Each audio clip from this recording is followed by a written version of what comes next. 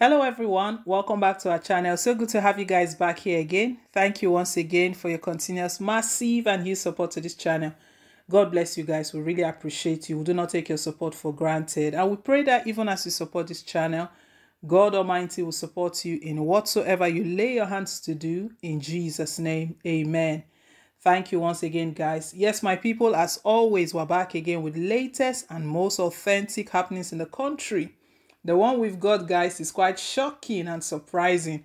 Right now, hmm, all uh, uh, um, all the governors they are on their toes because Nigerians are watching. You know, this hashtag EndSARS is really exposing a lot of things. We know that we have corrupt leaders. But right now, uh, um, uh, uh, Nigerians are taking it to another step, taking it another step forward. Even um, other parties, they are placing a close watch on governors on their activities. Right now, guys, the news we've got is that um, the uh, AD, Alliance for Democracy, um, is inviting EFCC, the Economic Financial Crimes Commission, uh, ICPC, to monitor Governor Makinde over wasteful spendings. You know, like I stated at the start, we've known all of this before that our governors we can't trust them.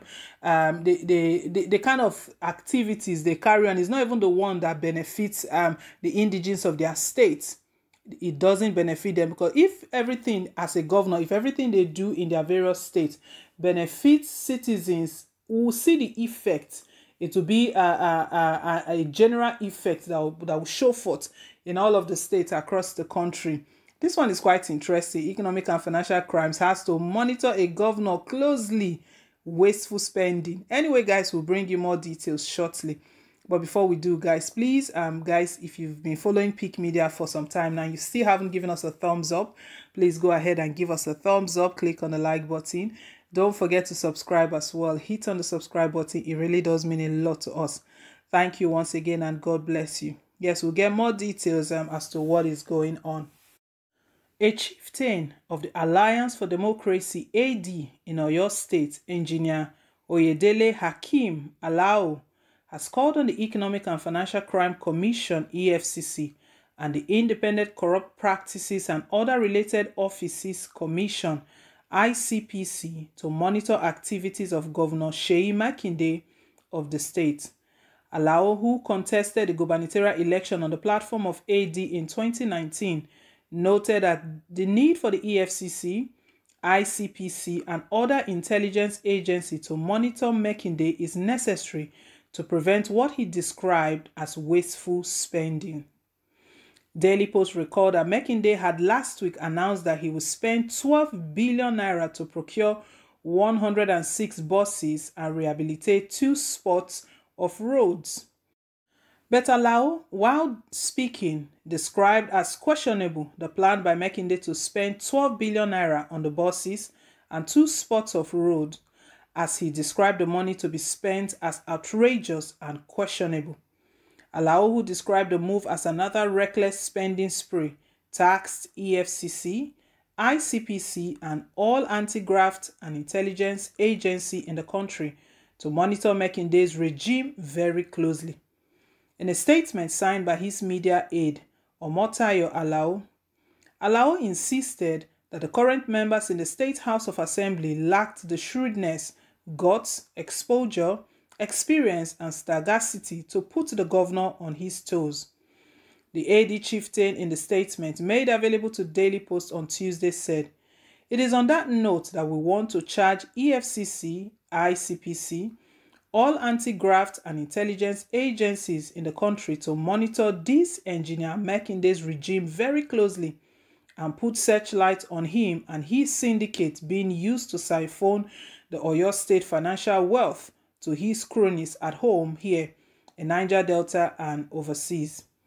A lot are not right with this government. This government says he has established an anti-graft agency. Till now, his EFCC is still inactive. The anti-graft could not even catch those who were moving out the state's water pipes for personal sale. No investigation on the reported incident till the moment. Our governor just moved on. He did not even utter a word and he suggests that scandals bigger than we see are going on under his government. The announcement of the engineer Seyi Makinde's administration last week to spend a total of 12 billion naira on purchase of 106 mass transit buses and rehabilitation of just two spots of roads in the Ibadan metropolis calls for concerns and questioning. First, how can the government of Engineer Seyi Makinde buy 106 buses with 9.3 billion naira? What type of buses are they buying with such a huge amount which can be channeled elsewhere for something productive? What type of buses is our governor buying at a cost when Lagos State was reported to have purchased 80 BRT buses burnt down during the hashtag EndSARS mayhem at a total of 3.9 billion naira? If Oyo State is buying the same brand of buses of Lagos State, it means that when Lagos bought a unit at a rate of 48.7 million naira, our prudent governor will be buying our own at 87.7 million naira. Again, why must the buses be purchased through a third-party company even our governor must acquire them? Second, how on earth will our governor plan to spend almost 3 billion naira for rehabilitation of Felefele Idi Ado Junction and Akobo General Gas Road? Of what serious strategic economic importance is the Felefele Idi Ado Junction to the general economic well-being of the people of Oyo State? It is now glaring maybe certain caliber of people are just empowered to expound and strengthen their personal estates at the detriment of the poor, suffering masses. Our present governor in the state seems to belong to this category of leaders. It is sad that the current members of the State House of Assembly lack the shrewdness, guts, exposure, experience, and sagacity to put the governor on his toes to being responsible. It appears that this current assembly is out to fill their pockets and have become a rubber stamp assembly. So people of Oyo State need to wake up and stop this gullible praise singing. Yes, so corruption must go. It must leave our country from every quarter, from every state. Um, it must really go. So um, um, the um, AD chieftain, Alliance for Democracy um, chieftain, has spoken up that um, EFCC has to shine their touchlight on um, Seyi Makinde over wasteful spend. You can imagine the, the amount, the budget, what he has budgeted for purchasing buses. our governors. This corruption we're talking about is from the top. If corruption leaves the top, the country will move forward, the country will be better. Anyway, guys, let's hear your own take. Thank you once again. Please, if you still haven't given us a thumbs up, go ahead and give us a thumbs up, click on the like button, and don't forget to subscribe as well.